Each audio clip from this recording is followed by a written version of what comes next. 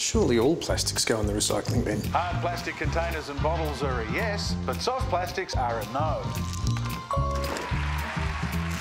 Know your recycling because what you do makes a difference. Authorised by the Victorian Government, Melbourne.